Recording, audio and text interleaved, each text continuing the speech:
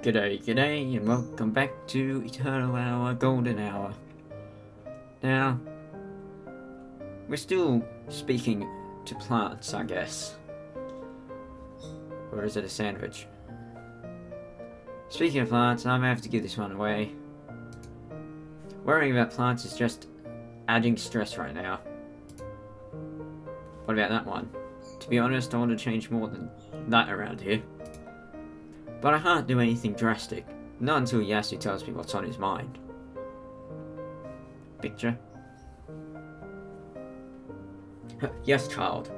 Do tell me. I won't bite. Not at all. Of course, none of that really matters if I don't find a job soon. Yeah, employment might be uh, a thing to get done. I'll leave that to you.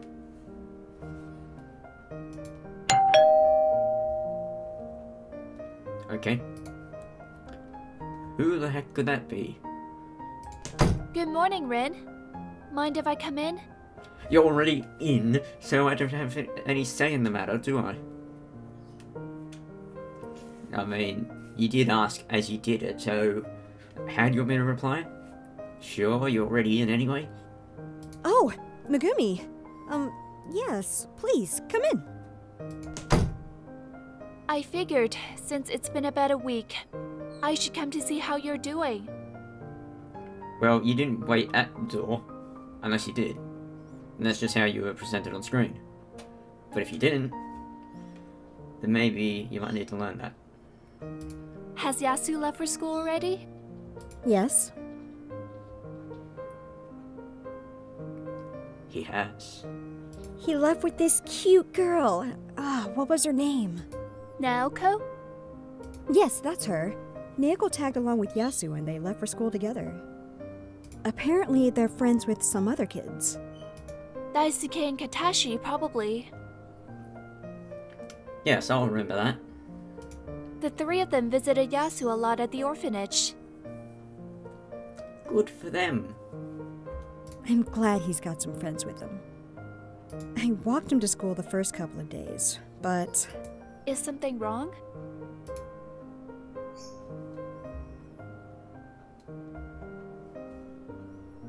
That one seems a bit more friendly. That just seems a bit rude. I'm worried about Yasu. He still won't talk to me. He only speaks up when he has to. This morning he left without a word. Half of the time he mumbles his replies, so I can barely understand them. He hasn't gotten used to you yet. He was very quiet at the orphanage, but I still hoped he would open up to his guardian after a while. Thank you for the hope. That only makes me worry more. What happened must have affected him deeply. Must have. Poor Yasu. He might be having a hard time understanding that his parents aren't coming back. He might. I can understand that. I still can't believe they're gone either. I keep waking up at night, expecting another email to show up from Akio.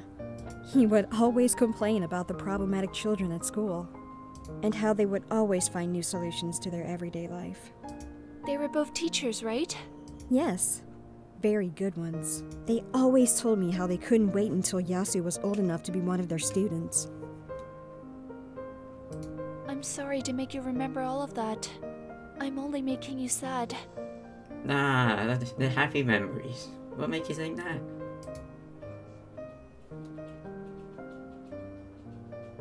Is that aren't helping or are helping? You are helping, Megumi. I am? Yes. I. I really wanted to talk with someone about this. Thank you. Um, you're welcome. so, how about we go out for a while? Sure, why not? Wait, what? Well, it's been a week, but you look like you've been spending a lot of time inside, taking care of Yasu. What made you think of that? It would be good to get some fresh air and explore the town. Might be a thing to do. Well, I mean, I have spent a lot of time inside since I arrived, but I used to live here six years ago. Really? Have you not visited Tokyo since then? Not really. I always met Akio around the hot springs in Hobuji. We used to spend a few days there having fun, so I haven't seen Tokyo since I left. Just as I suspected. That won't do. Come on. What's with that face? Hey, wait, what? You promised to help me buy a cell phone, right? Did I? I can't remember. Let's relax for a while and go shopping. Okay, no dialogue. Whoa. Geez, she's insistent. She barely gave me time to grab my bag and now she's pushing me out the door. Is that why we're zooming in? She is right though. It would really help help me to get out for a while. Well, now that Yashida's at school, we can explore the streets of Tokyo. Yes, that'll clear your head. Megumi excitedly pulls on my hand and guides me through a few streets I used to know well. Some of them look just like they did back back then, but most have changed completely. Gone is the tiny cafe I used to frequent as a child, replaced now by a large restaurant. The bookstore where I used to buy manga is still there, but I can barely recognize it now. With a slew of new displays showcasing portable music players and headphones, the storefront seems to have travelled 20 years into the future. The air is cool and refreshing as we walk together through the shopping district. That's a shopping district. I see Megumi smiling beside me as she watches my mixed reactions to these streets that are both nostalgic and unfamiliar. So, What? I didn't do anything. Okay, you're proving your point. I feel like I'm lost in a new world. I knew it. You should have asked me to show you around much earlier. Did you see anywhere you wanted to go? I'll tell you about anything you're interested in. Why do you have your arm raised like that? What's with that pose? Um, what's that place with the dragon logo? That's the Okopoko Cafe. It's a new cafe opened by some Canadian folks. They serve North American dishes along with traditional ones. Good for them. I love their bannock. A bannock. Is that how you pronounce it? Bannock, bannock. Either way, Wait a second. What is a bannock? I don't know. It's a kind of flatbread, but they make theirs with raisins and a honey glaze. It tastes like rainbows and butterflies. You've tasted rainbows and butterflies? I don't mean to ask, but how do you know what that tastes like? It looks like Megumi loves talking about food. Whoa, the old bakery is still where it used to be. Are they still selling melon pan? Oh, yes. Oh, their chocolate chip melon pan is the best. And their muffins. Oh, I have to say, he seemed to have quite an acquired taste for local delicacies. And butterflies. And rainbows. Still not sure how you'd eat them. I mean, you'd cook butterflies and that, but rainbows? Not sure about that. of course. You need food to live. Plus, they make really tasty treats all over Tokyo. Living is a positive, I guess. Can't hurt to live. What about you, Rin? You don't indulge in eating sweets sometimes?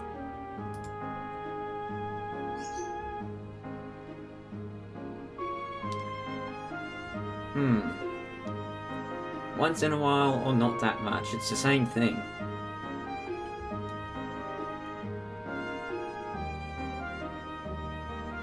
Once in a while. I like something sweet once in a while. Same thing, really. Didn't, there wasn't much of a choice there. Whoa! We should have lunch together sometime. Sure. I'll show you all the best food around here. And you can tell me all about the tastiest trees from Kumiwara. Why do you keep going further back into the background and then jumping forward all the time? And she's gone. Megumi seems much friendlier than before. I feel sorry for being so guarded with her before. How is that being so guarded? I don't know. When she's not mad at you, she's quite nice. Really? When someone's not mad at you, they're nice? Yeah, I think that might be the case. It feels refreshing to see a smile adored all around as we travel through the snug streets of Tokyo. So many new places have opened up in the few years I've been away. And there's a white screen. Hey, Megumi. That boutique over there.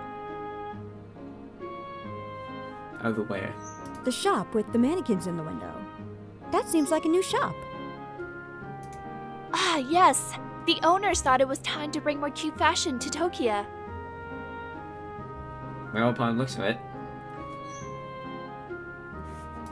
Unfortunately, some people are complaining about it. are they? Well, I haven't heard any yet. Complaining? About what? Some of the older and more established citizens feel that mannequins in shop windows are obscene. What? With you there. Not sure about what that's about. I don't quite understand either, but people here can be pretty stubborn. You don't say. The city might force a shop to move the display away from the windows. Oh, I've got to say this one. That's pretty sad. This brings back memories of when I left Tokyo. I've got no problem with conservative people in general, but this is exactly the kind of thinking that drove me away from this town in the first place. Rin, are you okay? Totally fine. Sorry. Oh, sorry. I got lost in my thoughts for a second there. Do you need a map? That's odd. You're sure you're okay? How would you know if it's odd? You haven't been around her long enough to know what her usual patterns are. Wait, have you been stalking her for a week, just peering through the windows and all that? That'd be creepy. Yes, absolutely. How about we visit a place to help you find that cell phone? That sounds great! Change the subject pretty easily there. To start, how much do you know about cell phones? They have snake on them? Not much. I just know that it's a phone you can carry around with you. So besides being a dead weight, what else do you know about them? There's a lot more to them, actually.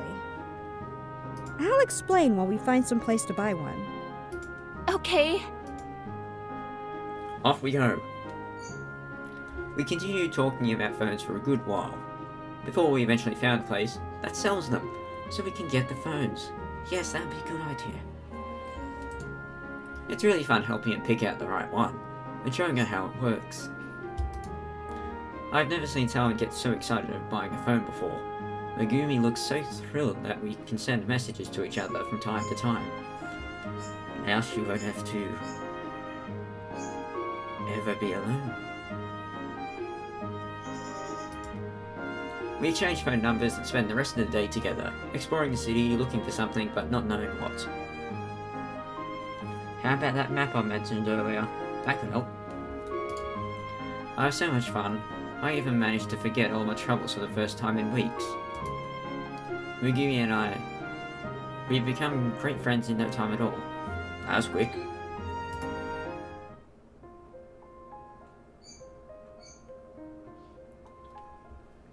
I was to say hi, sandwich. But it went. Oh, you're going back through the memories of that day. After that day, time seems to pass faster than before. I've been making small bits of progress every day, but life still hasn't settled down quite yet. It's been over a month since I moved back to Tokyo. Time skip. Everything feels better now. I started remembering the fun times I have once had here, and I sometimes tell Yasu stories about those. Yasu started speaking more and more, and now we're slowly becoming a family. Yay. We even watched a TV show together last night. Well, you've had it months, so you should be able to get somewhere. If I remember correctly, it was some cute anime about a boy who turns into a frog. Well, that's a bit different. I can't help but emphasize that with that... Not emphasize with that boy. I can't help but empathize with that boy.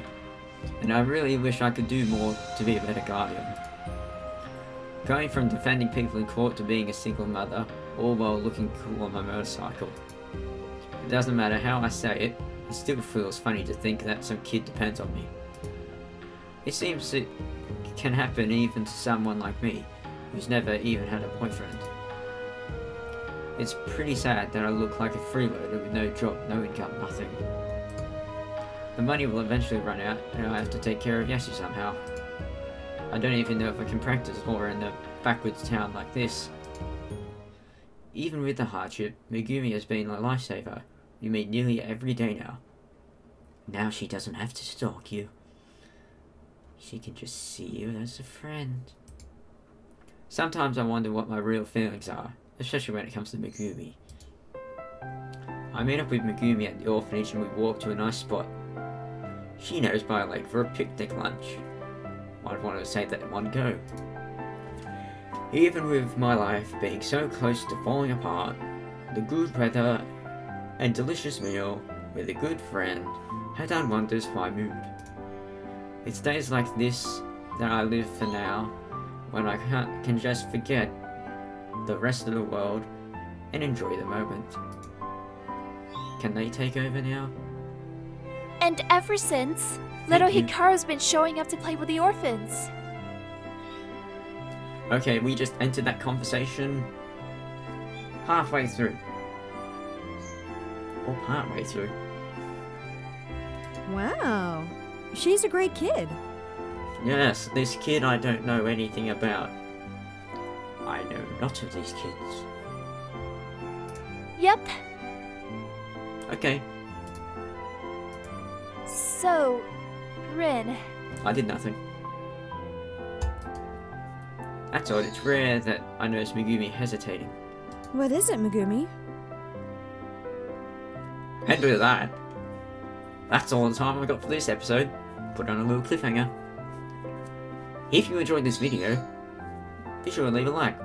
If you enjoy what I do, subscribe. With all that said, be sure to tune in next time. Cheerio!